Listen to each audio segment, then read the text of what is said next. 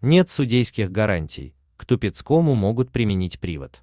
Текст озвучен в Яндекс.Клауд. К уволенному главе Конституционного суда Александру Тупицкому могут применить принудительный привод.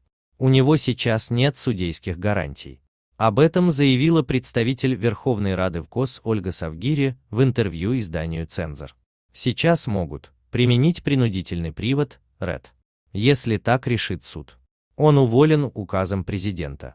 У него нет судейских гарантий. Его лишили государственной охраны.